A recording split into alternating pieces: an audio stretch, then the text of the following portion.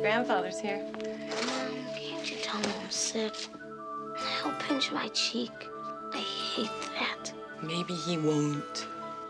Hey, how's the sickie? Huh? I brought you a special present. What is it? It was the book my father used to read to me when I was sick, and I used to read it to your father. And today, I'm going to read it to you. It was a time when life didn't seem so complicated. Marriage is what brings us together today. What? What? What? I'm killing myself once we reach the honeymoon suite. Wouldn't that be nice?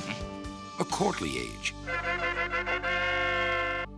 of gentle conversation. I will always come for you. But how can you be sure? This is true love. Oh, no. Is this a kissing book? No. Actually, there was a lot of treachery, peril, and revenge. Prepare to die.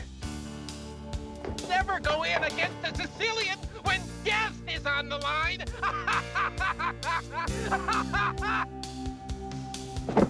There were affairs of state, But I've got my country's 500th anniversary to plan, my wedding to arrange, my wife to murder, and Guilder to frame for it. I'm swamped. and affairs of the heart. My Westley will always come for me. Your Westley is dead. I've seen worse. Bye bye, boy. Have fun storming the castle. It's more than turning. What's the difference? We've got him. Think it'll work? It would take a miracle.